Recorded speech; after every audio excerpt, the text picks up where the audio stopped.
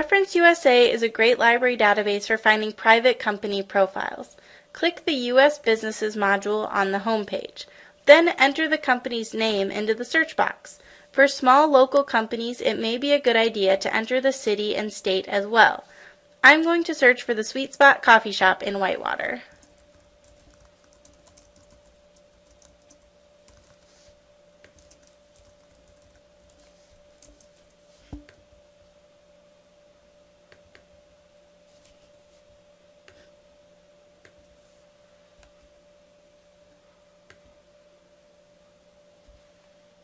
I can use the links along the left to jump to a specific part of the report or I can just scroll through.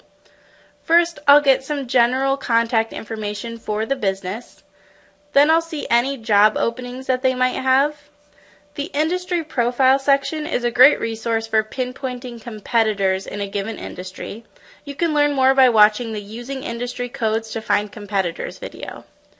Sometimes you will see a brief description of the company in the business profile section. I can expand the photo map directions box to get a visual look at where this company is located. The business demographics section will give me an idea of how many people work for the company, whether it is public or private, what their sales volume is, and more.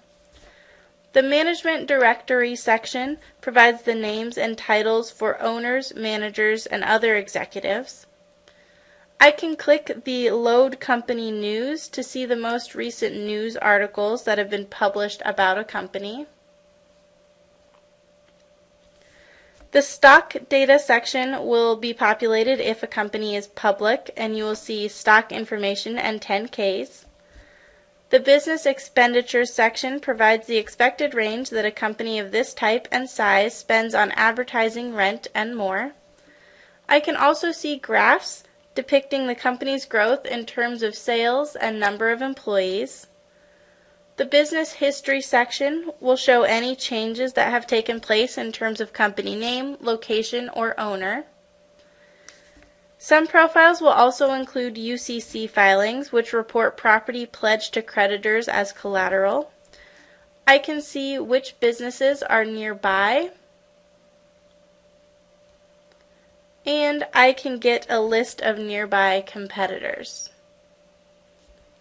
If I go back to the top or use the buttons down at the bottom, I can download the data into Excel.